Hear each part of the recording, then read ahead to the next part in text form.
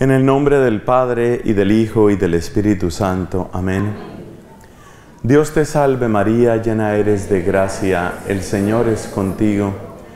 Bendita tú eres entre todas las mujeres, bendito es el fruto de tu vientre Jesús. Santa María, Madre de Dios, ruega por nosotros pecadores, ahora y en la hora de nuestra muerte. Amén. Nombre del Padre, del Hijo, del Espíritu Santo. Amén. Muy bien, paso a paso vamos avanzando en nuestro curso. Puede decirse que vamos llegando también a conclusiones, vamos llegando al final. Y dentro de eso que, que es importante, dentro de eso que está pendiente, es ver cómo podemos aplicar, cómo podemos marcar una diferencia dentro de nuestra pastoral. Es decir, un curso de esta naturaleza no se hace solamente para aprender cosas, para ver cosas interesantes. Realmente queremos que nuestro estilo, que nuestra manera de evangelizar y de servir particularmente a los jóvenes vaya teniendo un cambio. Y el gran cambio se llama santidad. Santidad en nosotros y santidad en ellos. El gran cambio significa tomar en serio que Dios ha entrado en nuestra historia y que eso lo cambia todo. El gran cambio significa que nosotros tenemos la posibilidad y tenemos también el deber, si se puede hablar así, de ser distintos. Por supuesto, esto nos desalienta al ver tantas mediocridades y al ver el tamaño de los obstáculos.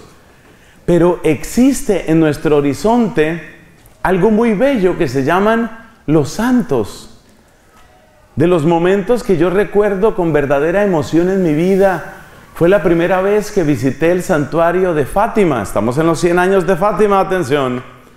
La primera vez que visité el santuario de Fátima y visité las tumbas de Francisco y de Jacinta las tumbas parecen demasiado grandes para el tamaño de los cuerpos de los niños y aún así son tumbas pequeñas. Y luego va uno y visita la casa de Francisco, por ejemplo, esa cama que parece que parece una cuna grande. Ese cuarto donde se respira la sencillez propia de la época y sobre todo escuchar los testimonios que en ese lugar, en Coba de Iría, todavía se tienen sobre esos niños. Los días finales de este niño que murió como a los 11 años de edad, Francisco, el de las visiones de Fátima. Esos días finales, este niño tan enfermo, pero cuando se alivia un poco, entonces ¿cuál es el descanso que busca? Pues por supuesto, encender la televisión y ver los muñequitos animados. No, no había televisión en la época, mucho menos en ese lugar. ¿Cuál es su descanso? Su descanso es levantarse de la cama, arrodillarse junto a la cama, sostenerse en el borde de la cama para pedirle a Dios, ten misericordia de los pobres pecadores. Ese es Francisco, el de Fátima. Es decir, esas cosas suceden. Él no era así, él tuvo una conversión. ¿Y la conversión vino de qué? Del ángel del año 1916 y de la Virgen en el año 1917. Entonces, son niños y son santos. ¿Cómo no recordar aquí al recientemente canonizado mártir mexicano, Joselito? en la guerra de los cristeros, un niño que da testimonio de Cristo y que muere por Cristo. ¿Cómo no recordar aquí, por ejemplo, a tantos otros niños que ya desde la antigüedad han sido venerados por su martirio? ¿Recuerdas a San Tarcisio? San Tarcisio que muere protegiendo las especies eucarísticas. Un niño. Y por supuesto, una mujer que me marcó profundamente, otra chiquita, Inés, cuya fiesta está muy cercana. Santa Inés mártir. Su recuerdo, su fiesta litúrgica es el 21 de enero. Está muy próxima. Y el relato es impresionante. El relato que hace San Atanasio de la muerte de Santa Inés. Una niña que tenía 12 años y que fue decapitada. Y dice hermosamente, el biógrafo dice, no hubieras visto a una novia ir a su matrimonio con más alegría que esta niña al lugar del martirio. Fue decapitada. Esa es Santa Inés, mártir. Entonces, los niños jóvenes, los niños mártires quiero decir, y los jóvenes mártires nos cuestionan. Sobre todo cuestionan nuestra idea de que no se le puede pedir mucho al niño, no se le puede pedir mucho al joven, porque entonces se van a aburrir, porque entonces se van a ir. No significa tampoco, por supuesto, que nosotros vamos a maltratar o que vamos a explotar a estos menores de edad. De ningún modo, de ningún modo. Máximo respeto, máxima conciencia de su dignidad. Pero precisamente porque tenemos máxima conciencia de su dignidad, sabemos que son ciudadanos del cielo. Tratar con dignidad a un joven es entender claramente, este es un ciudadano del cielo. Este está destinado a la casa del Padre, lo cual significa que no le vamos a inducir al pecado, pero lo cual también significa que sí vamos a llevarle más y más cerca a su casa, a su Padre, a su vida. Así que me parece muy importante que recuperemos ese horizonte. El horizonte de la evangelización es el horizonte de la santidad. Ese es el resumen. El horizonte de la evangelización es el horizonte de la santidad. Pregúntale a María Mazzarello, ¿para qué tienen los colegios las salesianas? Pregúntale, ¿para qué tienen? Para que sean santos, para eso. Para que sean niñas santas, de eso es de lo que se trata. Pregúntale a Juan Bosco para qué tiene sus colegios. Ah, para rescatar del problema de las pandillas. No, ¿para qué tienen los colegios? Para ser santos. Y los santos aparecen. Una Laura Vicuña, ahí está, ahí lo tienes. Un domingo sabio, ese se escribe con B corta, con B pequeña. Un domingo sabio, ahí lo tienes. No había cumplido 15 años de edad cuando murió Lema de Domingo Sabio, primero morir que pecar. Esa es la evangelización. Evangelizamos para eso. Evangelizamos para generar santidad. Evangelizamos para transmitir santidad. Y nuestra vocación se realiza ayudando a que cada uno de nuestros hermanos encuentre su vocación. Y la vocación de ellos y la vocación nuestra finalmente se llama santidad. De eso es de lo que se trata. Entonces, hay que evitar dos peligros muy grandes. Un peligro es, no les pidamos mucho, son apenas jóvenes. Ya se sabe que todo joven vive borracho. Ya se sabe que todo joven vive metido en la pornografía. Ya se sabe que todo joven vive acostado con el enamorado, con la enamorada. Ya se sabe que todo joven es perezoso. No, y no, y no. No, somos nosotros, nosotros, los que instalamos la mediocridad en nuestra cabeza y los que luego transmitimos la mediocridad con nuestras palabras. No, no es la mediocridad. No es cierto. Eso es necesario que cambie en nuestra vida.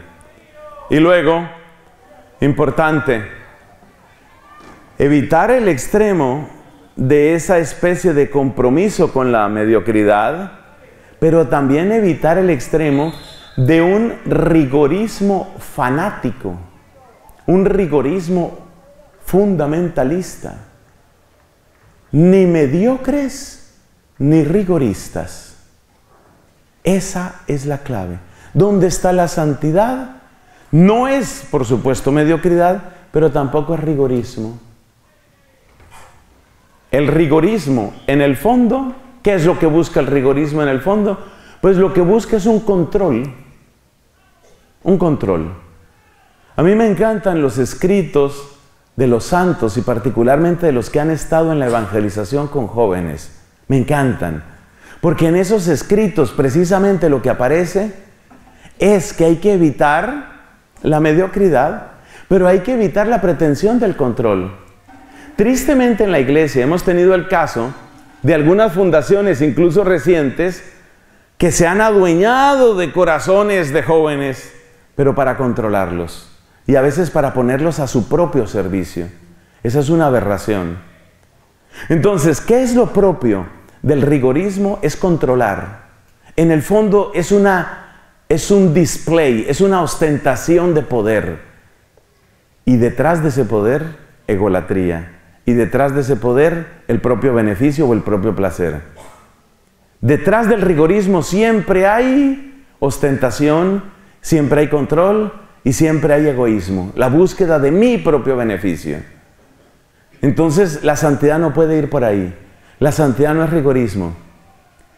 Les invito a quienes tienen la costumbre de hacer el oficio de lectura, o de todas maneras es muy fácil acceder a las lecturas de esa hora litúrgica, miren ustedes el documento precioso, es una carta de San Juan Bosco, está el día 31 de enero, por supuesto, la fiesta litúrgica de él. Miren la segunda lectura del 31 de enero en el oficio de lecturas de San Juan Bosco, es una carta del santo. ¡Qué preciosidad! Él lo dice mucho mejor que yo. ¿De qué se trata? de hacer florecer la caridad y la santidad en esos jóvenes. Y la manera como San Juan Bosco declara, ten mucho cuidado, porque es mucho más fácil desquitarte tú, desahogarte tú, de querer controlar todo tú, es mucho más fácil que verdaderamente amar. Entonces, tenemos dos cosas claras hasta el momento. Primero, el horizonte de la evangelización es el horizonte de la santidad. Si estás haciendo una pastoral juvenil extraordinaria, los muchachos te quieren, todos están felices, la han pasado muy bien, esto es fenómeno, este es el movimiento de moda, todos tenemos que pertenecer a eso. ¿Y dónde están los santos? No, pues no hay. No se ven, no aparecen por ningún lado. Así no es. Así no es. Y es que hay una cosa muy curiosa con los jóvenes. Y es que si no empiezan a producir flores de santidad, empiezan a producir flores de podredumbre. ¿Me explico? A ver, nuestros jóvenes y nosotros mismos cuando lo éramos, claramente son y éramos intensos. Es que parte de la juventud es eso, es intensidad. Entonces, si no son intensos en la búsqueda de la santidad, la intensidad de las hormonas les gana. La intensidad de la fiesta les gana. La intensidad de la droga les gana, la intensidad de los embarazos les gana. Yo he visto en mi país destruirse grupos de oración por eso. Porque resulta que era un precioso grupo de oración que estaba floreciendo, mucho canto, mucha alabanza. Aleluya, bendito Jesús, todos felices, qué hermoso todo. Las mamás felices porque tenían por fin un lugar a donde podían llevar sus hijos, sus hijas para que crecieran en la fe. El día que empiezan a aparecer los primeros embarazos, bueno, ¿y quién embarazó a mi hija? No, el novio que encontró en el grupo de oración. Pues se va al infierno el tal grupo de oración ese y se acabó eso. Así de sencillo. Entonces, el grupo que no dé flores de santidad va a dar flores de podredumbre. Eso es así. No, eso no tiene alternativa. Entonces, primera, primer punto. Estamos en la introducción. No hemos salido de la introducción. Primer punto de la introducción, el horizonte de la evangelización es el horizonte de la santidad. Y lo que no esté dando flores de santidad, tarde o temprano da flores de podredumbre. Y las flores de podredumbre son abortos, embarazos prematuros, gente resentida con la iglesia, fundadores con aberraciones. Así funciona. Eso no tiene, eso, ha sido así desde siempre. Desde las sectas del siglo II hasta las sectas del siglo XXI ha sido igualito, igualito, igualito. Eso no tiene cambio. El horizonte de la evangelización es el horizonte de la santidad. Y segundo, el camino de la santidad evita dos extremos, la mediocridad y el rigorismo. Porque la mediocridad está en función de mi comodidad y el rigorismo está en función de mi control.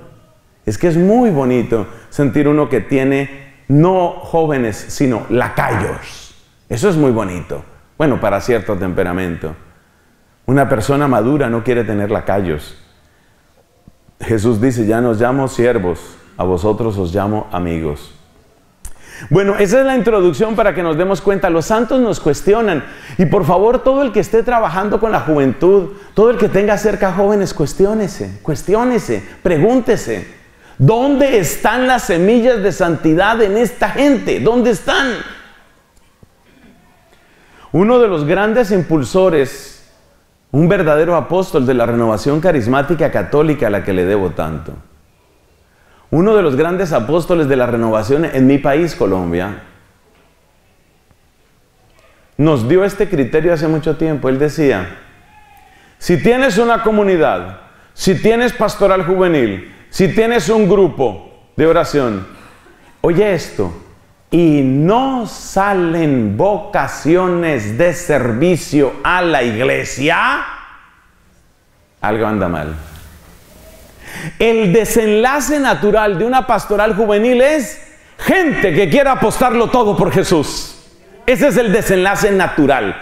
Lo natural de la evangelización en los jóvenes es vocaciones. Es muy extraño que tú lleves 15, 20 años en un movimiento y no haya salido un solo monje que quiera vivir con radicalidad su vocación con los cartujos, con los trapenses. Es muy raro eso, es muy extraño. ¿Qué pasa en ese movimiento? ¿Por qué no sale gente que quiera...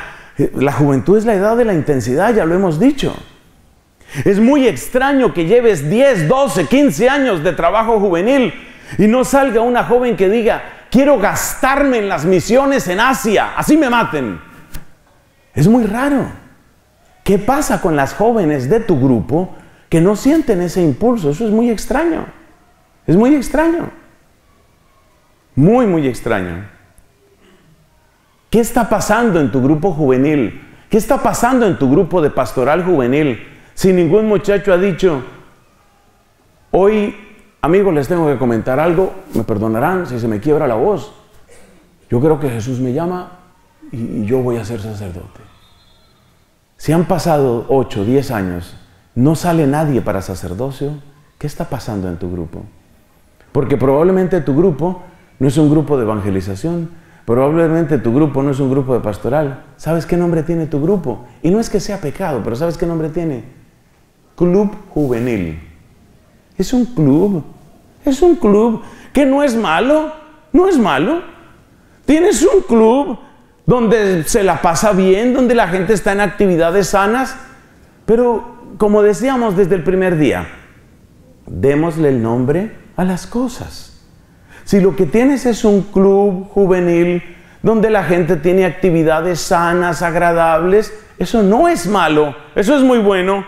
Un club de matemáticas, un club de atletismo, un club de ajedrez, un club de, piscina, pues sí. Un club de danzas folclóricas del Perú, y yo estoy asombrado porque cada vez que vengo conozco otra danza folclórica del Perú. Yo digo, Dios mío, ¿esta gente cuánto tiene? Club de Danzas Folclóricas del Perú es algo bueno, buenísimo, buenísimo. Mejor que estén en eso a que estén, qué sé yo, por allá de vándalos o haciendo barbaridades. Pero, ¿sabes una cosa? No llamemos a eso pastoral juvenil. ¿Por qué no elevamos un poquito el lenguaje?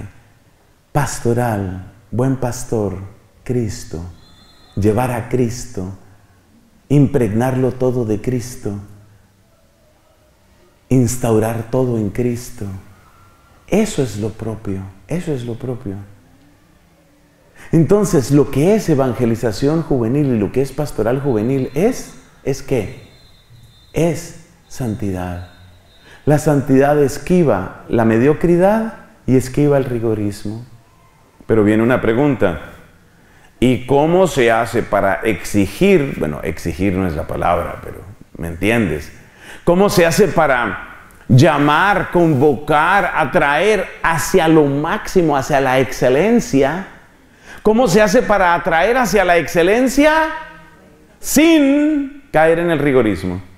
Porque el rigorismo es fácil. El rigorismo es fácil y el fanatismo es fácil, ¿no? El rigorismo yo sé cómo funciona. El rigorismo funciona de derecha o de izquierda es lo mismo. poner mucha disciplina, llenarlos de discursos y discursos y discursos, eso se llama lavado de cerebro, ¿no? Separarlos de las familias, crear ambiente de secta, un sistema de castigos y un sistema de premios, un sistema de méritos y un sistema de privilegios y ya tienes armados los jóvenes, ya tienes tu ejército. Pero ese será tu ejército, no el ejército de Cristo. Ese no es de Cristo. Eso es fácil. Eso es relativamente fácil. Relativamente fácil. La pregunta es, ¿cómo se puede sacar lo mejor del corazón de un joven? ¿Cómo se puede sacar lo mejor del corazón de una joven? Y lo mejor significa hacia la santidad. ¿Cómo se puede sacar lo mejor sin caer en el rigorismo? Es decir, que sean verdaderamente jóvenes, entendiendo bien que verdaderamente jóvenes no significa pecadores. Porque si estamos disculpando el pecado, pues estamos en el ambiente de la mediocridad. La mediocridad es eso, ¿no? Y es que yo lo he oído a sacerdotes. Yo lo he oído a sacerdotes. Una vez decía un sacerdote que me dolió en el alma, fue una puñalada para mi pecho, decía, bueno, pero para mí qué problema es que ellos se masturben o no se masturben. Por supuesto que la masturbación no es el peor pecado del universo. Pero ¿cómo puedo yo como sacerdote ser indiferente frente a eso? Eso significa entregar las armas, eso significa rendirse, eso significa claudicar, eso significa traicionar el Evangelio a los apóstoles y a Cristo. Yo no puedo quedarme tranquilo con eso. Ahora, si yo voy a utilizar mecanismos perversos de dominación psicológica para que la gente esté tan aterrorizada, que tengan su afectividad metida en el refrigerador o en el congelador, pues eso tampoco es. Entonces, fíjate qué hermosura de tema el que tenemos hoy. La santidad es el horizonte de la evangelización juvenil y la búsqueda de la santidad evita por igual la mediocridad y el rigorismo. Entonces eso nos lleva a una pregunta y la pregunta es, ¿cómo buscar cómo ayudar, cómo motivar lo mejor de nuestros jóvenes sin caer en ninguno de esos dos. Bueno, yo me he puesto en la tarea de ver la gente que es experta en esto. Para mí los expertos siempre son los santos. Para mí los expertos no son los autores de moda. Para mí los expertos son los santos. Entonces me he puesto a ver gente que ha trabajado con jóvenes, muy particularmente, dos autores me fascinan uno que viene del siglo III, el segundo maestro de nuestra orden dominicana, Jordán de Sajonia, tenía un carisma para trabajar con los jóvenes que nos marcó a los dominicos desde el principio. Durante su vida, Jordán de Sajonia le dio el hábito de nuestra orden a cerca de mil hombres, a mil jóvenes. Mil novicios dejó él. El solo Jordán de Sajonia. Es impresionante. Mira, era tan impresionante Jordán que cuando Jordán iba a hacer misión en una determinada ciudad, los sastres de la región se iban allá y ya se ponían a hacer hábitos de estos nuestros. Porque sabían que iban a entrar 50, 100, 200. Entonces, mira, que Jordán va a ir a predicar a Düsseldorf. Pues vamos para Düsseldorf, corre, corre a llevar tela. ¿Qué tela es la que utilizan? Una tela medio blanca, medio hueso, medio beige, medio... No se sabe finalmente, la de las hermanas sí se sabe claramente cuál es. Entonces, ese era Jordán de Sajonia. Y Juan Bosco, ustedes saben cómo Juan Bosco cambió completamente el horizonte del trabajo con los jóvenes. Cuando se enseña una materia, cuando se enseña un tema, a veces se dice el ABC, ¿no? Cuando uno está empezando, el ABC de tal cosa. Bueno, pues lo que yo les voy a dar no es el ABC, les voy a dar la A. La A del ABC. Pero no es un chiste, son 12 palabras y todas empiezan por A. Es decir, lo que yo he podido aprender de María Mazzarello, de Juan Bosco, de Jordán de Sajonia y de otros que han trabajado con jóvenes, lo he sintetizado en 12 palabras que empiezan todas por la letra A. Esas 12 palabras tienen que ver con la manera como nosotros nos relacionamos con nuestros jóvenes. Esas 12 palabras tienen que ver con lo que ellos suelen buscar, quieren encontrar en nosotros. Entonces el resto de nuestra conferencia es un pequeño comentario sobre estas 12 palabras. Te repito, este no es el ABC, este es solo la A. Mis hermanos, que tienen cada uno su propia su propio campo de experticia, seguramente nos van a dar muchos otros elementos y nos llevarán a la B, la C, la D y la Z. Pero lo mío, por ahora solo la A. ¿Qué buscan nuestros jóvenes en nosotros? Tú notarás en las palabras que voy a decir, que te repito, todas empiezan por la letra A, tú notarás que estas palabras tienen mucho que ver con temas que ya hemos tocado. Porque este es el penúltimo día de nuestro curso y conviene que esto vaya llegando poco a poco a conclusiones. Una vez más lo digo, uno no viene a un curso de esto solamente por aprender y oír cosas bonitas. Primera palabra, todas empiezan por A, primera palabra. Lo primero que siento yo, que he visto yo, que ellos quieren encontrar, ya lo dijimos, es autenticidad. La autenticidad, ¿qué quiere decir? Que tú crees lo que vives, que tú piensas lo que dices, que tú dices lo que sientas, que tú obras como hablas. Eso es lo que significa autenticidad. Entonces la autenticidad tiene que ver con una palabra que se llama coherencia. Autenticidad tiene que ver con la coherencia. Y todos sabemos que la coherencia es de las cosas más arduas en nuestro caminar, pero hay que buscar la coherencia. La coherencia. Entonces lo que buscan es autenticidad. La primera, el primer nivel de autenticidad se llama coherencia. Ya me parece difícil, pero es apenas el primer nivel. En realidad, ellos no buscan solamente que tú seas coherente tú contigo mismo. Ellos buscan que tú seas coherente sobre todo con el evangelio que tú dices representar. Eso significa que si el Evangelio habla de confianza en Dios, pues hay que confiar en Dios. Si el Evangelio habla de buena noticia y si la carta a los filipenses dice alegraos en el Señor, entonces quiere decir que ellos esperan que haya alegría en ti. O sea que la autenticidad también tiene niveles. El nivel más bajito de la autenticidad es que se vea que lo que tú piensas es lo mismo que dices. Y lo que tú crees es lo mismo que vives. Ese, es el nivel básico de autenticidad. Si yo estoy diciendo en una charla, bueno amigos, vivimos en un mundo repleto de mentiras, hay que suspender la mentira. Padre, lo están llamando por teléfono, diga que no estoy. Entonces, ahí acabó la predicación, ahí acabó la credibilidad. El nivel básico de la autenticidad es coherencia. Pero luego hay que subir ese nivel. Tú estás anunciando el Evangelio. Y esto es lo que el Papa Francisco desde el día número uno les ha pedido sobre todas las religiosas. La alegría en el Señor.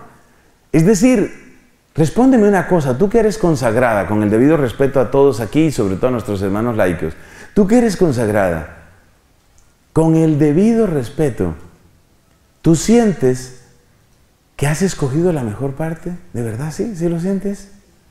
Sí, sí lo sientes, sí, sí, lo vives, sí se te nota, sí sale a tu rostro, sí sale en tus palabras. Claro, todos tenemos un día malo, ¿no? o, sea, no, no podemos estar tampoco falsificando las cosas. Pero, pero de verdad sientes que tienes la mejor parte, que, que, que me ha tocado un lote hermoso y me encanta mi heredad. Si, lo sientes, si lo vives, si aparece en tus palabras, si aparece en tu trato. Porque claro, lo primero que la gente va a decir es, bueno, esta mujer, pues esposo no tiene, hijos no tiene, una carrera, un desarrollo profesional, más o menos, ahora parece que están estudiando mucho, pero más o menos. No se ve tan claro el tema profesional. O sea, ha renunciado a una cantidad de cosas. ¿Por qué? ¿Porque era una incapaz? ¿Porque le hubiera quedado grande? ¿Porque no había con quién? Esa es la pregunta de la gente. Y la gente es cruel, la gente es cruel con nosotros. Dice, no, pues claro, con esa cara, mira, ni que hubiera querido, ni que hubiera querido. Entonces, esa es la pregunta. Esa es la pregunta. Y entre otras cosas, esa es una de las razones de la fuerza de evangelización de Santa Rosa de Lima. Una mujer hermosa, bella, físicamente bella, con una sonrisa preciosa, con un gozo en el rostro. Y ella feliz de ser de Jesús, feliz. Entonces la autenticidad también está en eso. Y créeme, eso no se puede maquillar, eso no se puede fingir. Hay una frase que me fascina. El amor, como la tos, es muy difícil de disimular. El amor se nota cuando está y se nota cuando no está. Se nota cuando no está. No hace mucho estaba leyendo un artículo sobre un problema que se está presentando tanto en Europa como en Estados Unidos y en otros países del llamado primer mundo, que son los matrimonios para conseguir papeles. Entonces va la gente, por ejemplo, a Inglaterra, y se casa, pero es un matrimonio falso, se casa, y después de un tiempo, el mínimo legal, unos dos años o tres años, se divorcia, pero bueno, ya quedé con la nacionalidad británica o la nacionalidad norteamericana. Por supuesto, es una burla al matrimonio, incluso si se tratara solo del matrimonio civil. Pero entonces leía en ese artículo cómo los jueces que tienen que celebrar esas ceremonias civiles cada vez se han vuelto mejor en identificar los falsos matrimonios. ¿Y sabes por qué lo identifican? Porque cada vez observan más esto que de lo que estamos hablando, si esta gente se quiere o no se quiere, la manera como se porta o no se porta dónde vive, con quién convive, en dónde pasa su tiempo, con quién trabaja, si tienen una economía juntos. O sea, el amor se nota. El amor se nota. Si lo hay, se nota. Y si no lo hay, se nota. Se nota. Entonces, la manera de mejorar tu cara no es todas las mañanas ponerte frente al espejo. Por supuesto, antes de velo, toca y todos los demás aderezos. Lo importante no es colocarte frente al espejo y decir, hoy voy a ser súper simpática, hoy voy a ser feliz. A ver, a ver, a ver, ya estoy feliz. No es ejercicios de espejo, es ejercicios de sagrario, es ejercicios de oración, es ejercicios de postración y de adoración. Son ejercicios de sentirte amada, y si no lo sientes, hay que pedirlo. Hay que pedirlo. Necesito ese amor tuyo, necesito vivirlo. ¿No dice un salmo, alegra mi corazón con tu auxilio? Hay que pedirlo, alegra mi corazón con tu auxilio. Bueno, eso es en cuanto a la autenticidad. Ustedes se dan cuenta de la idea. Segundo punto, segunda palabra, son 12 palabras. Segunda palabra, nuestros jóvenes necesitan acogida. Acogida. Esto es fundamental. ¿Y cuál es el modo más sencillo de la acogida? El diálogo. ¿Y cuál es el modo más sencillo del diálogo? La pregunta y la respuesta. Eres una persona con la que se puede hablar. Eres una persona a la que se le puede preguntar. Hazte nada más esta pregunta, sobre todo si estás trabajando ya con jóvenes, por ejemplo en un colegio. Número de niñas que se acercaron el mes pasado a hacerme preguntas. Dos. Una de las cuales fue a tratamiento psiquiátrico. Hazte esa pregunta. ¿Soy una persona a la que la gente se acerca para hacer preguntas? Es anormal que la gente no se acerque es anormal. Es anormal que no quieran establecer una conversación con nosotros. Todavía sigo hablando del cardenal Cipriani. Acuérdate de lo que nos decía. Es que acoger no requiere grandes cosas. ¿Te acuerdas lo que nos dijo? Muchos estábamos aquí, la gran mayoría estábamos aquí cuando las palabras del cardenal. ¿Te acuerdas lo que nos decía? Que había por ahí una religiosa que se sentaba rezaba unos rosarios, tenía unos dulces. Ella no estaba iniciando gran campaña de conversión de jóvenes en el colegio. No, ella no estaba anunciando nada. Estaba sentada, pero era, como dicen en inglés, approachable. Era fácil acercarse a ella. ¿Es fácil acercarse a ti? ¿Es fácil tener una conversación contigo?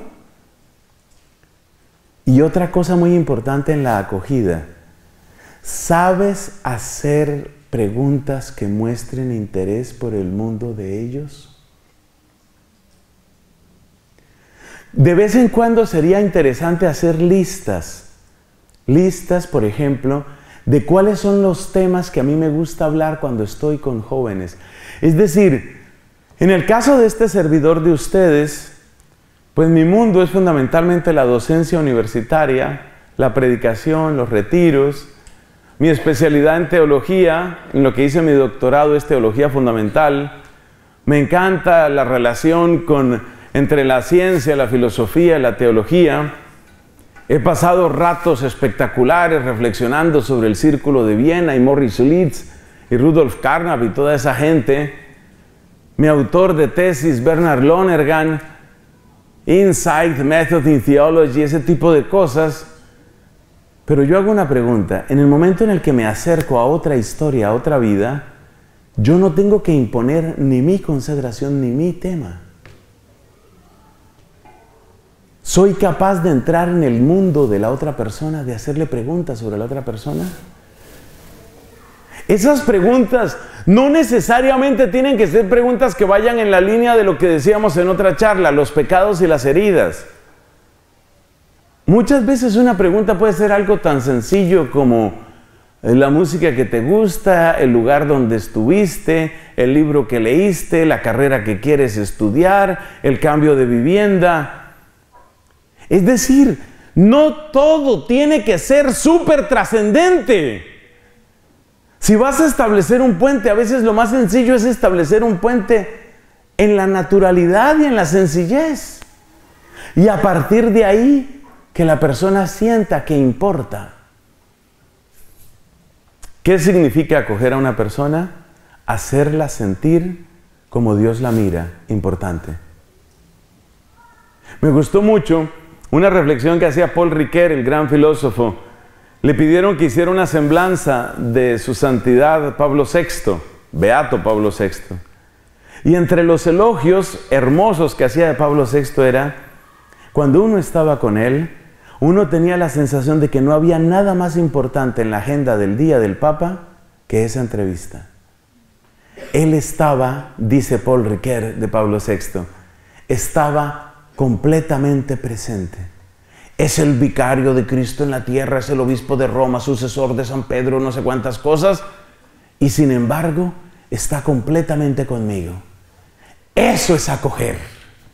Acoger es hacerle sentir a la otra persona cómo la mira Dios y cómo te mira Dios. Dios no te mira como, bueno, otro muchacho, en fin. Son 900 millones de muchachos hoy en el mundo, otro, bueno, está bien, a ver, ¿su problema cuál es? No. Todos hemos pasado por esa experiencia. ¿Te acuerdas cuando uno va donde el médico y el médico ni siquiera te mira los ojos y nada más te pregunta, su DNI, por favor? Sí. Eh, tipo de sangre. Eh, ¿Qué alergias tiene? Alergia a la antipatía, doctor.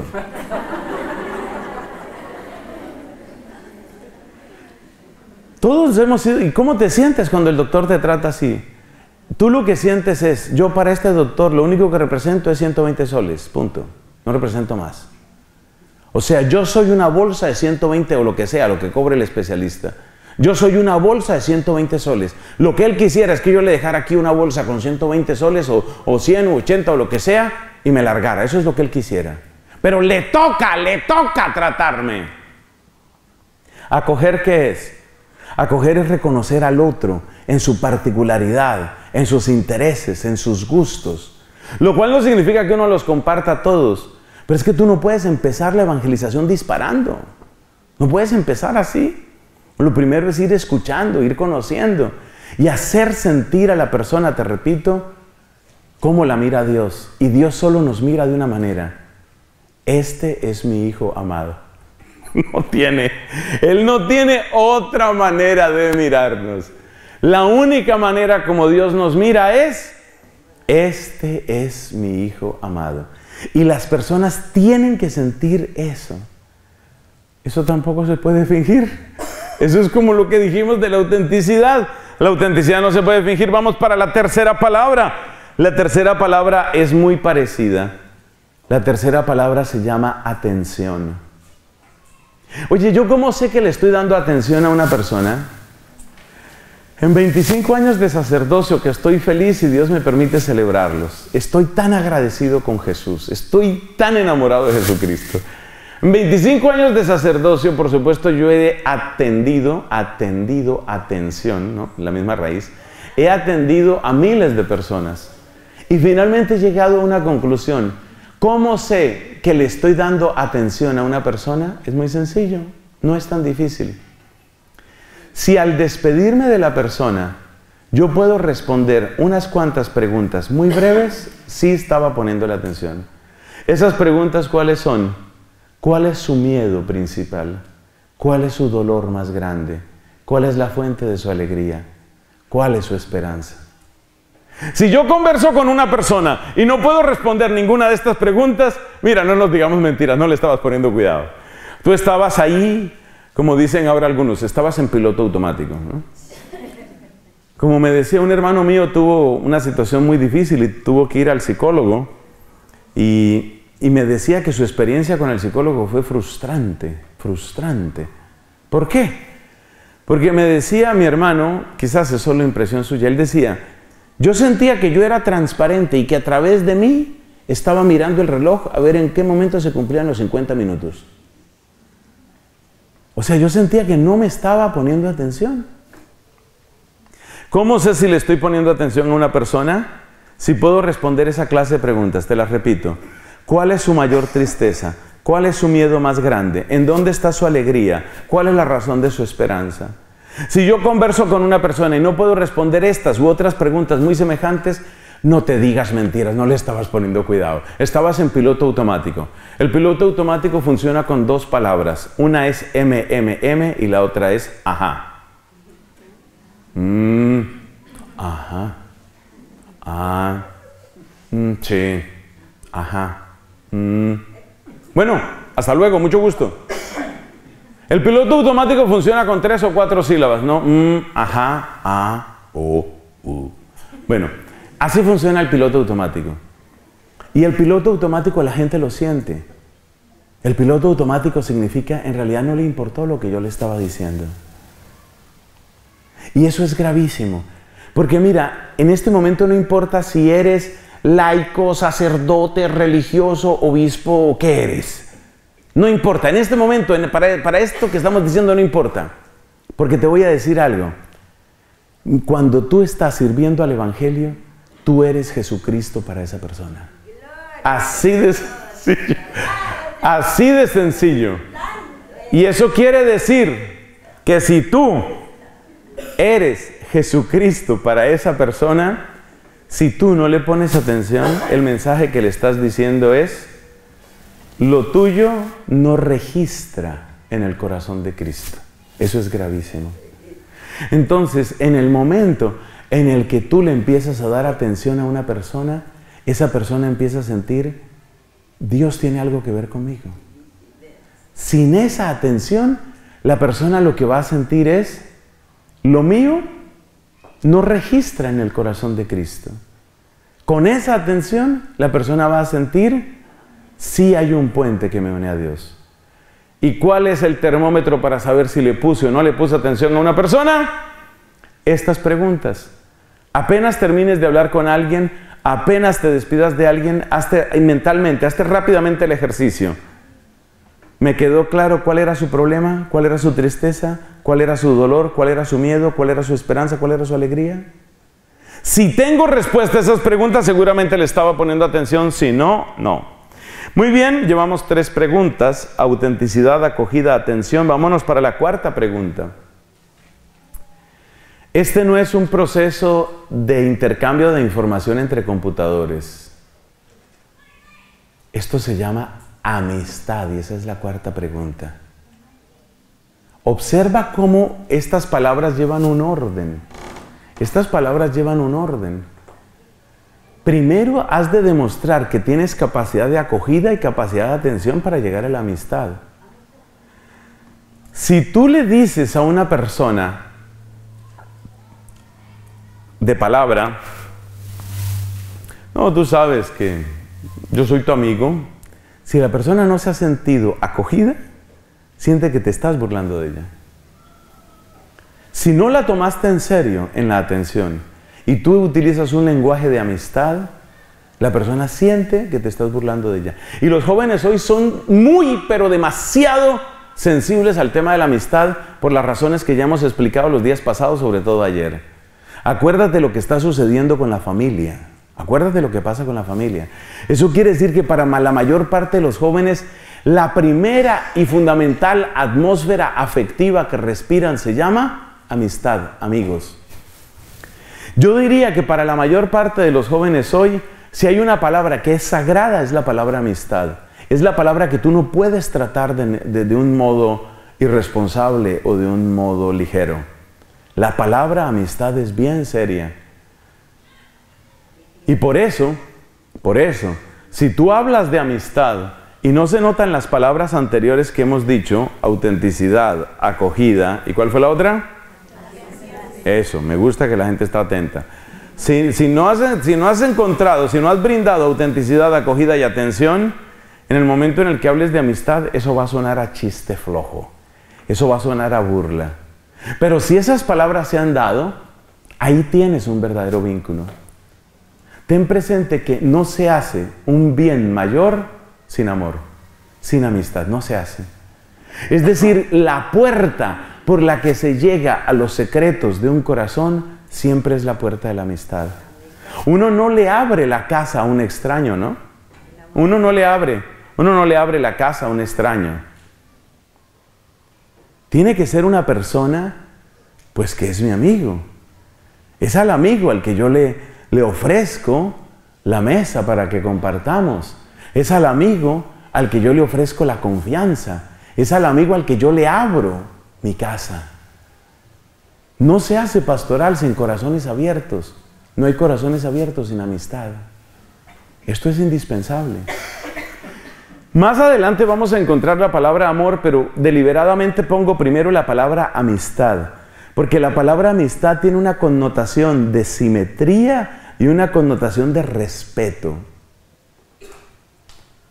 Y la palabra respeto es fundamental en esto.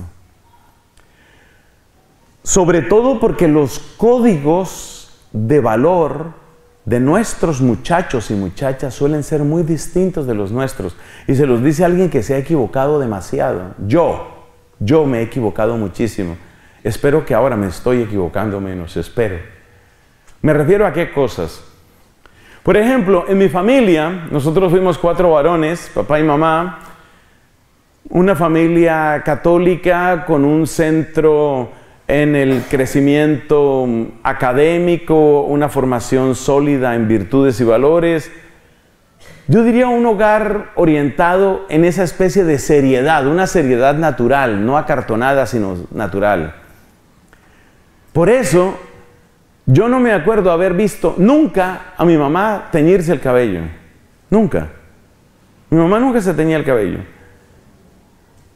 El mundo de los accesorios, de los adornos, de las joyas, de los maquillajes, eh, era un mundo tan ajeno a nosotros. No digo que eso sea bueno o sea malo, simplemente esa fue mi vida. Seguramente si yo hubiera tenido hermanas y, y las hermanas hubieran tenido sus amigas, la vida hubiera sido distinta para mí. Pero yo les cuento lo que pasó en mi vida para que ustedes vean la clase de errores que yo he cometido. Entonces yo estaba acostumbrado a que temas como la moda, el maquillaje, el verse bonito, eso no importa. Eso no importa. Por eso, cuando llegó el hábito, para mí eso fue una gran cosa. Eso fue una gran cosa porque me quitó un problema muy grave. Nunca supe combinar esos benditos colores, nunca supe.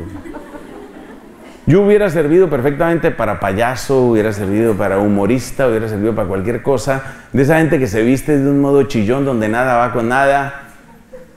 Yo de eso no sé, pero cometí muchos errores por eso. Porque resulta que para mucha gente el modo de vestirse, el modo de peinarse, el color del cabello, el accesorio que utiliza son cosas importantes. ¿Por qué estoy destacando esto? No porque esas cosas objetivamente hablando tengan demasiada importancia. Me acuerdo una vez una muchacha que quería conversar algo conmigo, pero es que yo es que no me podía concentrar porque era una de esas chicas que tienen un mechón verde, otro mechón morado, otro amarillo. Entonces yo decía, bueno, ¿esto qué es? ¿Es, enferma? ¿Es un extraterrestre? ¿Qué idioma habla? Cometí el error, error mío, lo, confieso aquí en público, cometí el error de hacer un comentario burlesco sobre el tema del cabello. Resulta que para ella, su cabello y pintarse así, para mí es pintarrajearse. Pintarse así, eso es muy importante. Entonces, fíjate, uno comete un error de irrespeto con la persona. Yo cometí ese error. Cuando me di cuenta del error cometido, porque me di cuenta la reacción de ella, la distancia que tomó, etcétera, cuando ya me di cuenta, honestamente ya era demasiado tarde. Es decir, ya para recuperar esa relación ya era demasiado tarde. ¿Quiere decir eso que uno tiene que aceptar tantas cosas, a veces ridículas, que ellos hacen, incluyendo sus tatuajes y sus piercing y todas esas cosas? No. No tiene uno que aceptarlas, pero uno tiene que aprender a respetar. Por eso pongo aquí la palabra amistad, porque dentro de la amistad está el respeto. Es posible que un día, un día, tú dejes de pintarrajearte el cabello así, pero la manera de que eso cambie en tu vida no es como yo lo hice. Yo cometí un error ahí grave. Y ese error lo he cometido con varias personas. Espero haberme corregido. Entonces, por eso pongo aquí la palabra amistad, porque la amistad incluye el respetar a la persona así como la encuentro. Después, cuando vayamos haciendo camino, la misma persona se va dando cuenta, pues, que efectivamente todos esos colorines en el cabello no tienen mucho sentido, pero que lo descubra la persona. No que yo pretenda ni imponérselo en la primera entrevista, ni mucho menos como yo cometí, que Dios me perdone, la burla. Y la burla es algo que les duele, les duele y les duele. ¿Y sabe por qué? Porque la mayor parte de nuestros jóvenes tienen un ego sumamente frágil. ¿Y por qué son frágiles? Porque les han faltado muchos, muchos elementos. Acuérdate lo que decíamos de la familia, ¿no? Decíamos que la familia da consistencia y dirección. Si la familia ha fallado, y es un hecho que la familia ha fallado muchísimo en nuestra época, les falta muchísima consistencia. Entonces, los egos la autoimagen de muchos de estos muchachos es tremendamente frágil. En cosas que uno no se imagina. Cosas que uno no se imagina. Una vez estábamos en un grupo de oración y había un muchacho que tenía una camiseta, un polo, llaman aquí, abiertamente satánico, con unas cosas, unas cruces al revés, unas calaveras, una cosa terrible. Y entonces este muchacho que tenía esa camiseta, quería que se hiciera oración por él, imagínate.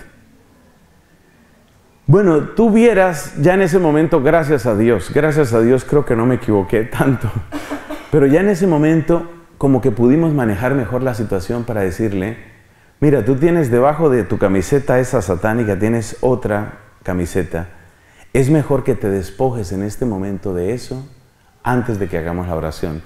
Esa vez se logró, esa vez se logró. Pero a mí me impactó el trabajo de este hombre para quitarse su camiseta, el trabajo. ¿Por qué? Porque han construido su personalidad a base de eso, la manera como me, peino, el reloj que utilizo, si utilizo este o utilizo otro, si es de esta marca, si es de esta otra, si tengo tales zapatillas o tengo tales otras. Oye, todo eso, pero es importantísimo para ellos. Y como ese no fue mi mundo, yo decía, pero ¿por qué le dan tanta importancia a eso? Nelson Medina, una cosa es usted, otra cosa es otra familia, otra cosa es otra familia. Entonces, por eso dentro de la amistad quiero destacar la palabra respeto. Hay que aprender el tema del respeto, es clave. Hay que saber cómo se maneja eso. No por el hecho de que tengan muchas confusiones o tengan pocos años o tengan grandes problemas o incluso tengan grandes pecados, tienen que ser tratados de otra manera. Y el mejor ejemplo lo tenemos en Jesús. Fíjate de qué modo tan respetuoso trata Jesús a la adúltera. Mujer, ¿ninguno te ha condenado? ¿Qué tal que Jesús le hubiera dicho, siga así, ¿no? No la trató de esa manera, con ese respeto. Bueno, siguiente palabra. Los jóvenes em, esperan encontrar en nosotros altura. ¿Altura qué significa? Se ha dicho muchas veces que los jóvenes evangelizan a los jóvenes y los jóvenes dan testimonio a los jóvenes. Eso es verdad, eso es verdad. Y muchas veces oír el testimonio de un joven le hace muchísimo bien a muchos otros jóvenes, eso es cierto. Pero los jóvenes también necesitan altura. ¿Qué queremos decir aquí con altura?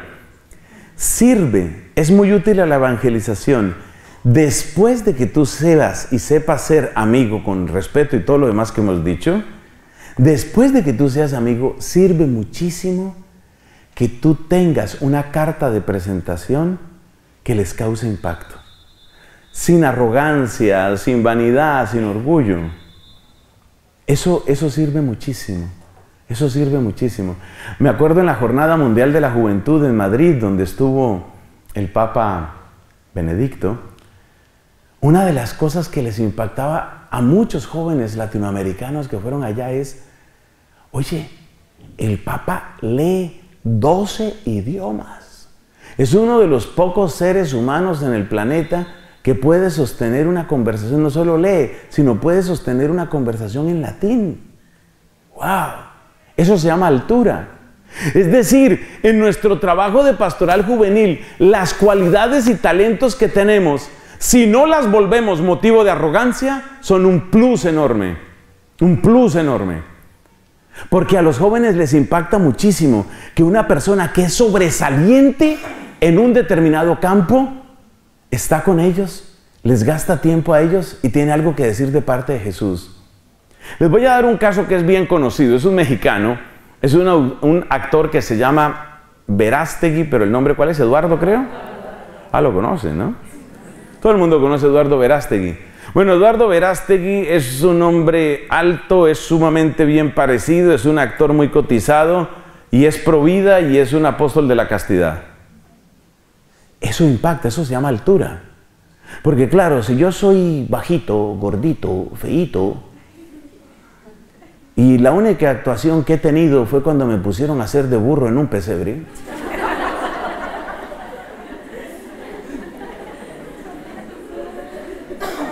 Y llega Verástegui, ¿cierto? Con todo el porte que sabe tener el que, el que lleva ese nivel de vida. Y llega Verástegui y dice, jóvenes, quiero contarles que Jesús ha marcado una diferencia en mi vida. Eso impacta muchísimo, eso se llama altura. Porque es una persona que tiene talentos, que tiene cualidades, y tú dices, oye, y este le pone cuidado a Jesús. ¡Wow! ¡Wow! Eso impacta. Hay una modelo muy famosa en mi país, ya hace rato salió del modelaje, Rosa Amada Pérez se llama ella, ustedes la pueden buscar en internet. Rosa Amada, una mujer alta, muy hermosa, de esas mujeres de calendario, de esas mujeres de estudio fotográfico, o sea, modelo. Y como decimos los hombres, y me disculpan las mujeres que están aquí, con un cuerpazo, un cuerpazo. Bueno, esta mujer ha tenido una conversión hermosa y con toda su belleza y con toda su altura se dirige a grupos de jovencitas y les dice, la única opción seria en la vida no es el contrato que vas a firmar, es la alianza que tienes con Jesucristo. Eso se llama altura. Claro, que lo diga otra mujer, pues también puede llegar. Pero que sea una persona de estas que tiene un plus, ese plus es lo que aquí llamamos altura. Eso impacta. También en chiquito yo he vivido eso, pues lo mío no ha sido el modelaje, yo intenté. Mucha gente no sabe que yo trabajé, antes de entrar al convento, yo trabajé durante dos años en un gimnasio. Yo trabajé en un gimnasio durante dos años. O sea, yo era el que hacía las fotos del antes. Bueno, ya luego contrataban a otro tipo para que hiciera las fotos de él después. Ese es el plus. Entonces, lo mío no ha sido propiamente el modelaje, realmente no ha sido. Pero lo mío pues han sido otras cosas, ¿no? O sea, yo soy lo que en algunos círculos llaman un poquito nerd, ¿no? Ese tipo, así metido en los libros, ahí estudioso, tal. Me acuerdo una vez que fue un estudiante de ingeniería, estudiante avanzado de ingeniería de la Universidad Nacional de Colombia, para que te hagas una idea, algo parecido a la UNAM en, en México, una cosa así, ¿no? Y entonces llega este hombre con sus estudios avanzados de ingeniería y llega a hablarme no sé qué. Y bueno, resulta que la conversación llegó a Nietzsche y a Arthur Schopenhauer y esta gente que pues yo conozco. Y este se queda asombrado. Oye, el, el monje ese, a mí no me decía fraile en esa época, Oye, el monje ese sabe. En el caso mío, digamos que ese puede ser un plus. Estoy hablando del caso mío. Entonces, piensa cuáles pueden ser los plus tuyos. Piensa cuál puede ser la altura tuya. A veces el saber tocar muy bien una guitarra es algo que impacta mucho. Yo me acuerdo cuando empecé a volver al Señor, sobre los 17, 16, 17 años de edad, empecé a volver al Señor. En el grupo de oración había un, tipo, un hombre ahí, pero tocaba tan hermoso esa guitarra. Yo la predicación no se la entendía mucho, la verdad, pero que tocaba la guitarra, la tocaba. Y de joven eso impacta. Ahí puede haber un plus. Entonces ellos esperan encontrar en ti algo.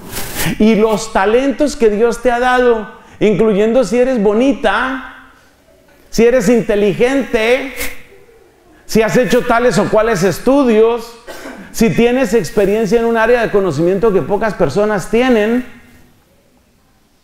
Me acuerdo una muchacha argentina en un grupo, en una comunidad, daba su testimonio y empieza esta muchacha diciendo, en la época que yo trabajaba en el departamento, como se llame, de glaciares, no mucha gente ha trabajado en departamentos de vigilancia de glaciares, pero tú sabes que Argentina y Chile pues tienen sus glaciares. Cuando yo trabajaba allá, observé tal o cual cosa. Y claro, la curiosidad, ¿no? O sea, esta muchacha que la ves aquí, tiene 23, 24 años y resulta que ha trabajado en glaciares. Oye, ¿cómo así? ¿Cómo pudo llegar a Jesucristo una persona que estuvo en el mundo de la ciencia? Ahí lo es. Entonces, la altura es clave. Examina cuáles son tus plus. No tienes que parecerte a nadie. A veces el solo hecho de tener experiencias exóticas. Me acuerdo en Irlanda un sacerdote, mira, la persona más humilde que te puedas imaginar, él era de la India. Y estábamos conversando y estaban ahí los jóvenes estudiantes dominicos irlandeses. Y este hombre comentaba con la mayor sencillez del mundo con ese acento del inglés que hablan los indios, que yo soy incapaz de repetirlo y a veces me cuesta trabajo entenderlo. Estaba él hablando en su idioma inglés, contándole allá, y de pronto le pregunta a uno de los jóvenes, los jóvenes siempre son curiosos, le pregunta a uno de los jóvenes, ¿y de qué parte de la India es usted? Entonces él dijo, la región, no me la preguntes a mí porque yo geografía india creo que la reprobé. Entonces él dijo la región, cuéntenos algo de ese lugar, y dice, bueno, en mi provincia, ¿son provincias o son estados allá? ¿Cómo es que llaman ellos? Estados. Dice él, en mi estado se hablan cinco idiomas. ¿Qué qué? En Lima, ¿cuántos se hablan? Espérate. en mi estado se hablan cinco idiomas, de los cuales, dijo él, yo solo sé hablar tres. Sí, hablas tres idiomas de la India, incluido el hindi, fue el único que le entendí, y otros dos. Hindi y otros dos. Bueno, luego tuve que hacer unos estudios en Italia, entonces tuve que aprender italiano. La maestría la tuve que hacer en Francia, tuve que aprender francés, luego pues el inglés se habla en casi... Mejor dicho, este tipo hablaba siete idiomas. Tenía 33 años, hablaba siete idiomas pero lo que más llamaba la atención era lo exótico, ¿no? O sea, habla tres idiomas de la India. Y entonces cuando él se dio cuenta, yo era otro de los que estábamos así todos curiosos, ¿no? Habla tres idiomas en su solo estado allá en la India. Y dice él, que ya se dio cuenta que ya tenía el auditorio aquí en la mano, entonces dice él, pero les cuento una cosa, es que no son tres idiomas, es que cada idioma tiene su propio alfabeto. ¿Qué qué? Sí, y dice él, Mire, les voy a escribir aquí, Padre nuestro que estás en el cielo, se lo voy a escribir en hindi, luego se los voy a escribir en no sé qué otro idioma, luego se los voy a escribir, para mí era más o menos egipcio, mesopotámico, ugarítico. O sea, a veces cosas como esas llaman mucho la atención. ¿Qué ha pasado en la mente de una persona de estas para que sea de Jesucristo? ¿Qué ha pasado en él? De los personajes más interesantes que yo me encontré, este misionero de la India, sacerdote católico. Entonces la altura, la altura es qué tienes tú de particular que pueda llamar la atención. Como nos ha pasado aquí en estas conferencias. ¿Cuántos de ustedes han dado conferencias en las Naciones Unidas? Por favor, levantar la mano. Yo solo veo una mano levantada. Entonces, claro, como buen vendedor, el joven Diego Cardoso sabe que estratégicamente él en cierto momento suelta esa monedita. Cuando yo di la conferencia en las Naciones Unidas, wait, wait, wait, wait, wait. Did you give a conference in the United Nations? Yeah. ¿Diste la conferencia ya? Sí. Yo conozco las Naciones Unidas. Oh. ¿Ves? Ese es, esa es la altura, fíjese, es una persona de altura, ustedes se pueden dar cuenta. Sigamos. Sigamos, sigamos. La afinidad es la sexta palabra. ¿Qué es la afinidad? La afinidad es la capacidad de hacer algo con estos muchachos. El ejemplo típico es la guitarra. Imagínense ustedes el caso de Verástegui, el famoso actor mexicano, Provida.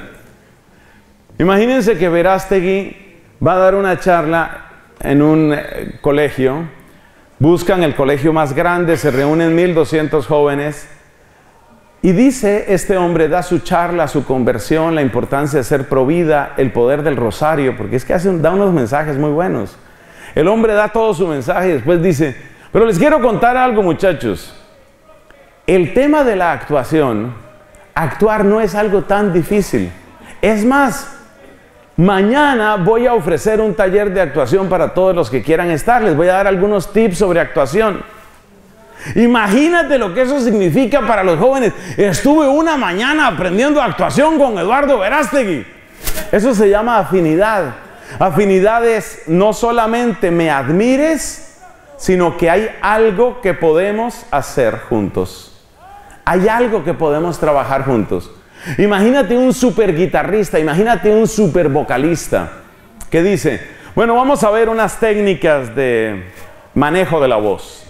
Seguramente en dos horas de un taller de manejo de la voz no te va a mejorar demasiado la voz de tarro que tienes, pero el hecho de haber hecho el taller de la voz con la gran vocalista, con la gran cantante, el hecho de haber hecho ese gran taller, eso tiene un impacto en tu vida. Eso tiene un impacto en tu vida. Eso se llama afinidad. Entonces es necesario que tú tengas altura, pero también es necesario que tú tengas afinidad. Como les he dicho, lo mío no ha sido demasiado ni el gimnasio ni el modelaje. Lo mío ha sido más el tema académico y todo esto. Entonces, ¿yo cómo trato de practicar la afinidad? Yo ofrezco cursos de filosofía, cursos abiertos de filosofía.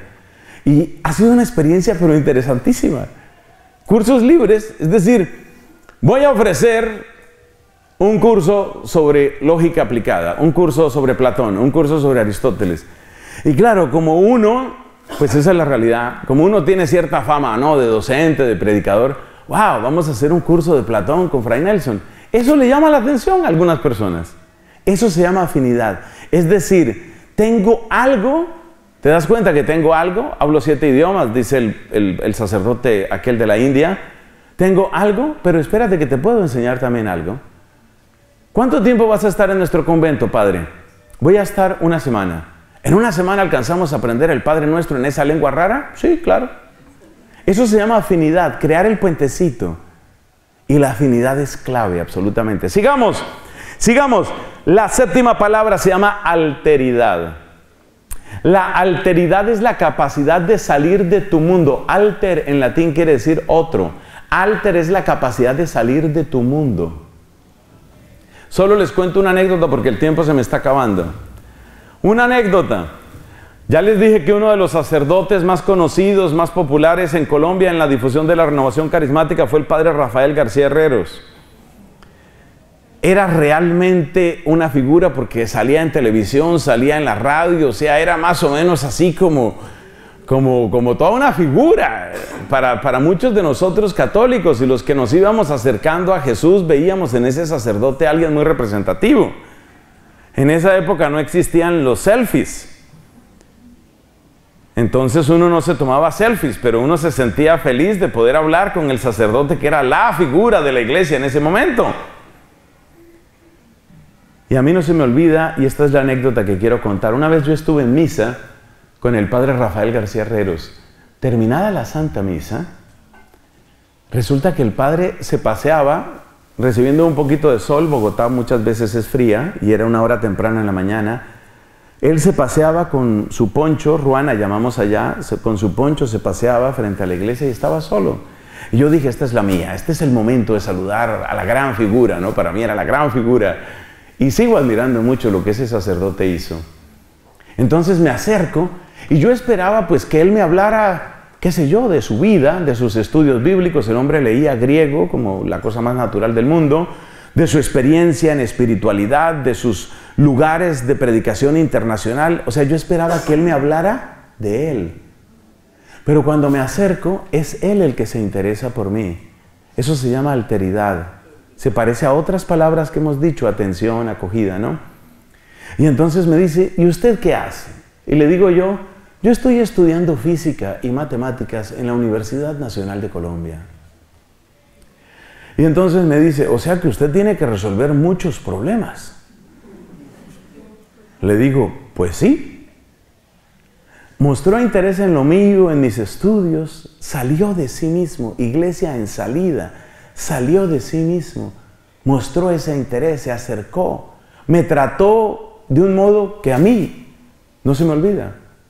Y después de que hemos tenido esa pequeña conversación me dice, le tengo una pregunta, mientras seguía paseándose con su poncho, con su ruana.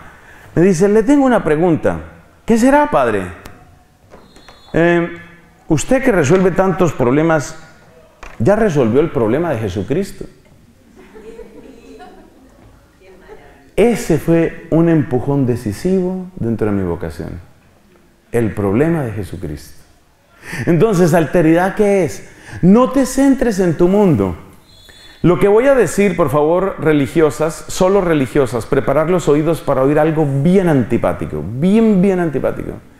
Error número uno que cometen las religiosas cuando ven que se acerca una jovencita, aparece una jovencita. ¿Y cómo te llamas? Yo me llamo Claudia, hermana. Nuestra congregación recibe muchas Claudias. ¿Quieres que te diga lo que siente la muchacha cuando tú le hablas así? Estas monjas giran en torno a ellas, antes no se marean más. Viven dando vueltas en torno a ellas.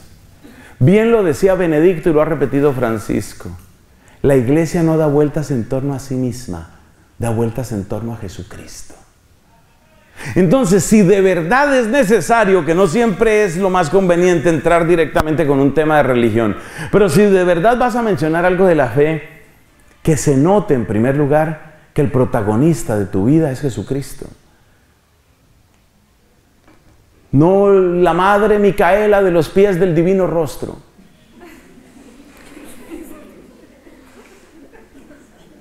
Porque ese es el tema, ¿no? Hay religiosas que se consideran las apóstoles de la madre. La madre, hay que difundir la madre. Y ese es un problema porque los jóvenes hoy son muy visuales y entonces todos los retratos de las madres son madres gordísimas.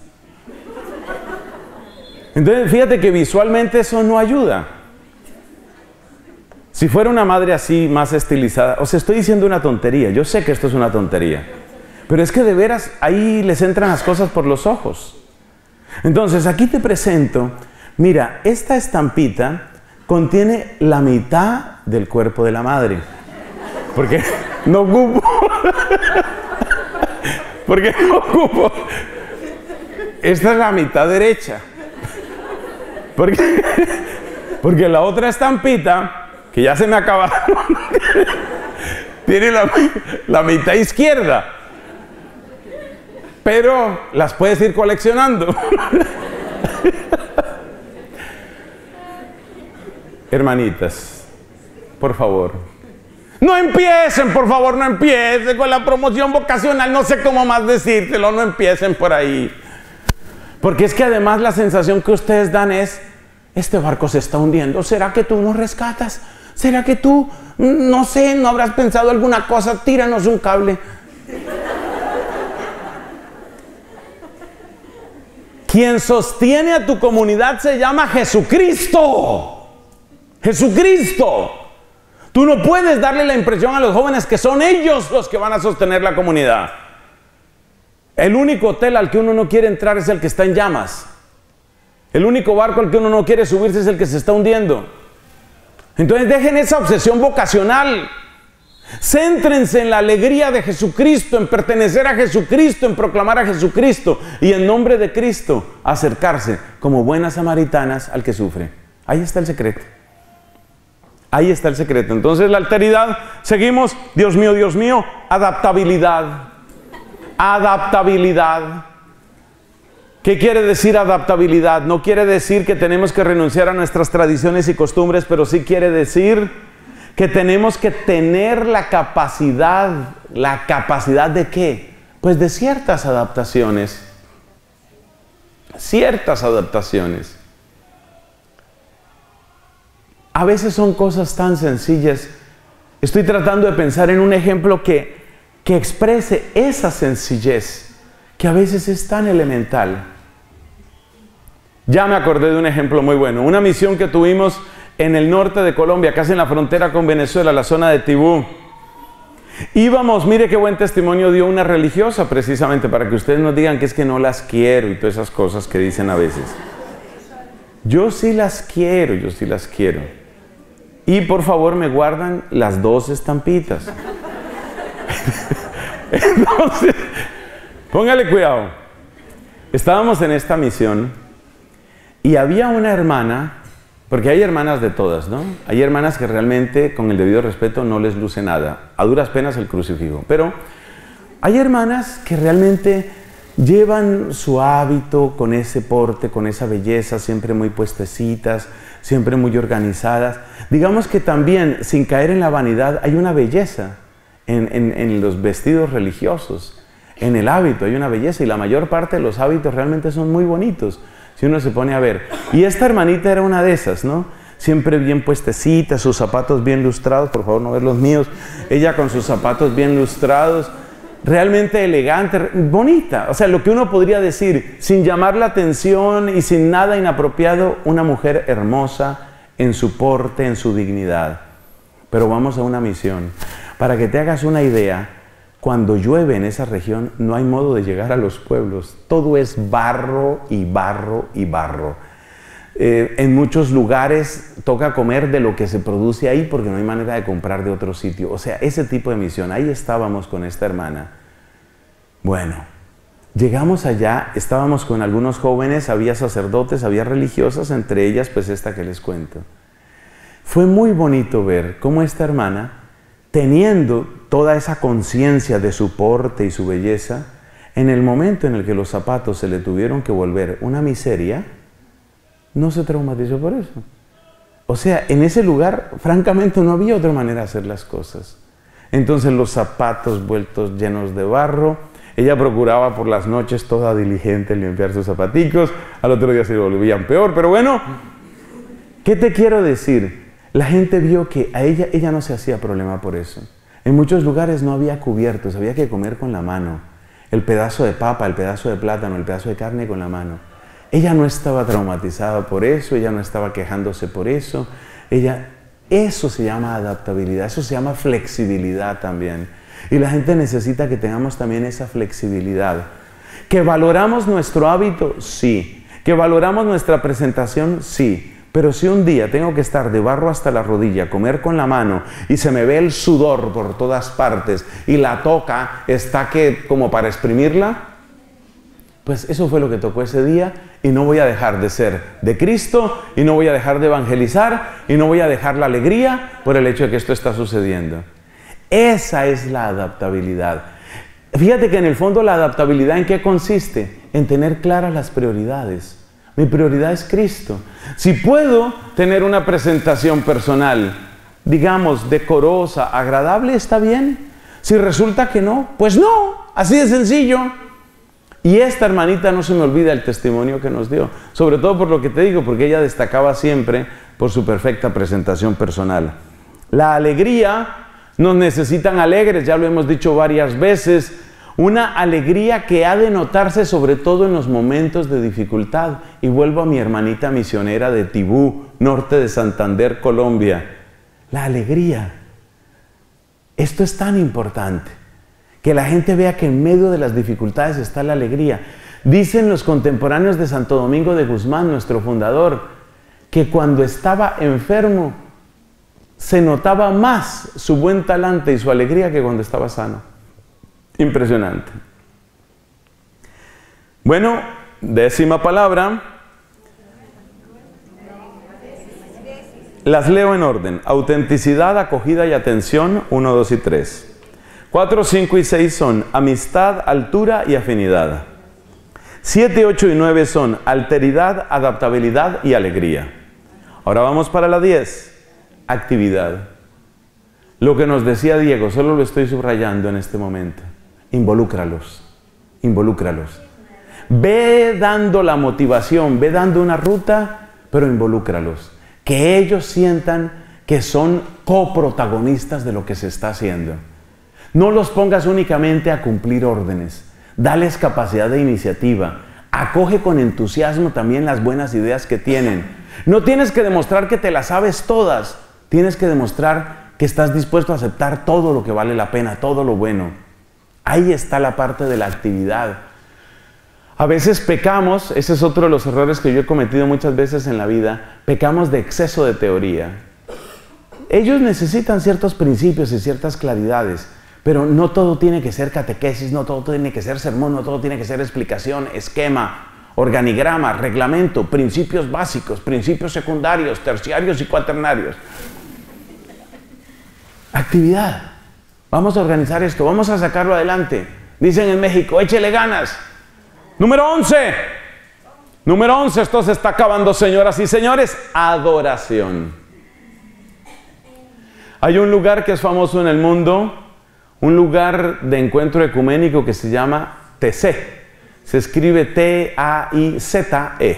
TC. TC es un lugar famoso en todos los jóvenes cristianos, para todos los jóvenes cristianos, católicos o no, de Europa. ¿Y qué se hace en TC? Adoración. Adoración.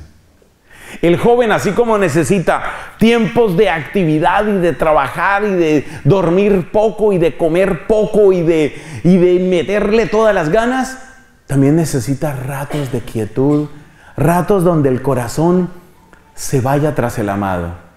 Dales esos ratos también.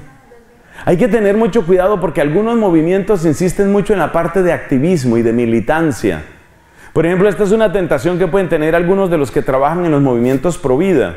Vamos a trabajar con los jóvenes, vamos a organizar la marcha, vamos a hacer esto, se necesitan camisetas, se necesitan afiches, se necesitan pendones, se necesitan, se necesita, vamos a trabajar, a trabajar, a trabajar. Bien. ¿Y la adoración? No se te olvide eso. Se necesitan también tiempos serenos, tiempos donde ellos puedan entrar en esa relación íntima, profunda, donde ellos puedan sentir que la verdadera motivación no es servirte a ti, es servir a Jesús. Y eso solo lo da la oración, eso solo lo da la contemplación. En lo que yo más conozco, lo que más he tenido cerca a lo largo de mi vida, que se llama renovación carismática, eso funciona mucho con el tema del canto, mucho, mucho con el canto. Ese cantar. Jesús es Jesús es Señor. Jesús es. Y tú ves 800 jóvenes cantándole a Jesús, ojalá en la Eucaristía. Señor, Jesús es, Jesús es Señor. Por ejemplo, esa canción. Y si alguien está dirigiendo la oración con, estilo, con amor. Bueno, ahora vamos a cantar solo los varones. Ese contraste entre voces masculinas y voces femeninas. Luego las mujeres, siempre las mujeres con esa tendencia a humillar a los varones, ¿no? Es un chiste, claro, es un chiste, no me lo tomen tan en serio. Entonces viene la adoración. Con esa canción, con otra canción. Esa, sobre todo la presencia eucarística, ese postrarse, ese sentir, todo lo estamos haciendo por Jesús. No es por el Padre fundador, no es por la Madre fundadora, lado derecho o lado izquierdo, no. No es por la fundadora. Lo estamos haciendo todo por Jesucristo. Eso solo lo da la adoración. Y termino con la palabra 12. Que todo, todo, todo, todo, todo esté marcado por Él, el amor. Finalmente, que se sientan amados y que se sientan amando. Que sientan que están amando a Jesús, que Jesús los está amando a ellos, que son capaces de amarse entre ellos, que tú los amas. Ese es el lenguaje, eso es lo que cambia el mundo, eso es lo que hace la diferencia, eso es lo que va a cambiar, eso es lo que va a transformar nuestra pastoral juvenil. Y volvemos al principio. Esa, esa es la raíz y la columna vertebral de la santidad. Gloria al Padre, al Hijo y al Espíritu Santo